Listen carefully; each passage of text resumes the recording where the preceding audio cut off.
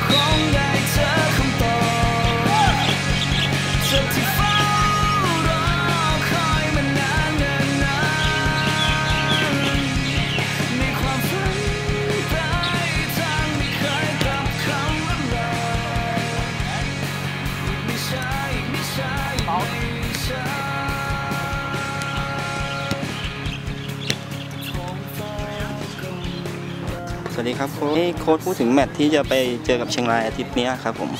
ครับก่อนอื่นก็ก็ต้องฝากขอโทษแฟนแฟนคลับนะครับแฟนบอลทุกคนนะครับที่นัดที่แล้วทำให้ผิดหวังนะครับ แต่นัดนี้ครับยังไงเราก็ต้องเน้นผลเป็นหลักครับเน้นผลเป็นหลัก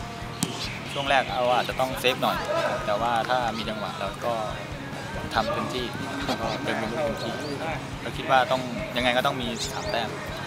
เราจะพยายามเน้นผลครับให้ให้ให้อย่างเดียวอย่างเดียวก่อนสามนัดนี้ขอเน้นผลนะครับแพ้ไม่ได้นะครับ ก็ประมาณนั้นถ้าแพ้เราก็โอกาสที่จะลุ้นก็น้อยลงเรื่อยครับๆครับก็เหมือนเดิมครับเอ่อแมตช์ที่แล้วก็ประทับใจมากที่แฟนบอลชาวสุโขทัยครับเดินทางไปเชียร์ครับซึ่งซึ่งไกลนะครับแมตช์นี้ก็เหมือนกันครับอยากให้ไปด้วยกันเหมือนเดิมครับไปด้วยกันเหมือนเดิมน